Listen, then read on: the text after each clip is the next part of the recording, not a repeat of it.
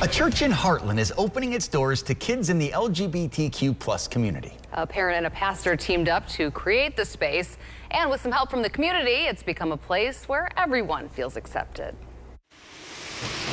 Inside the First Congregational Church in Hartland, we call this Safe House. Is a room that's become a hotspot for some high schoolers. They come here and they chat and they talk and they play. Darcy Sobchak is a parent who wanted LGBTQ teens to meet. I just want them to be happy and feel like they can be themselves. It's, Jim Langgrader. It takes everything in me not to cry. A pastor who wanted to help. It's important for me to make sure people feel that the church is a safe and welcoming place for everyone. He was just like, Well, I have the space. And I was like, Well, I have all the kids. The room took some renovation. It literally was like almost wall to wall stuff. But the kids pitched in to help, decorating and painting. You can see some of the paint marks on the on the floor.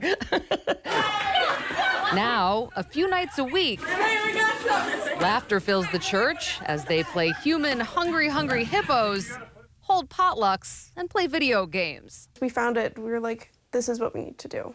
Kat Cummings is one of the teens who's been here from the start. 320 people have already signed this petition. They spoke out last summer against an Arrowhead High School policy banning safe space signage. I'm very passionate about like who I am and I feel like you should be who you are. Safe House has given kids a place to do that.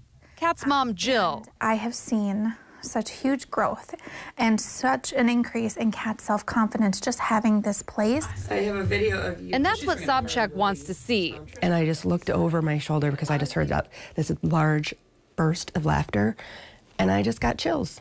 And I was like, this is what it's supposed to be, you know? A safe house that feels like home.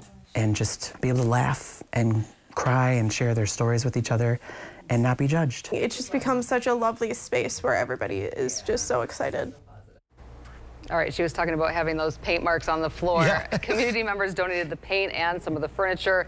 They've also raised $3,800 from Dang. the GoFundMe, so they're going to host their own prom this month. Oh, that's awesome. Yeah. And Human Hungry Hungry Hippo looks awesome. Okay, I'd never seen that before, and I thought, no. well, that looks like fun. Yeah. you got to try that. That's really good, really good stuff. And Giving you ideas. Yeah, totally. what a just a great place to let these kids be themselves yeah. and uh, feel safe. Good vibes that's, all really around. Cool. Yeah. All right, and if you would like to nominate an everyday hero, please send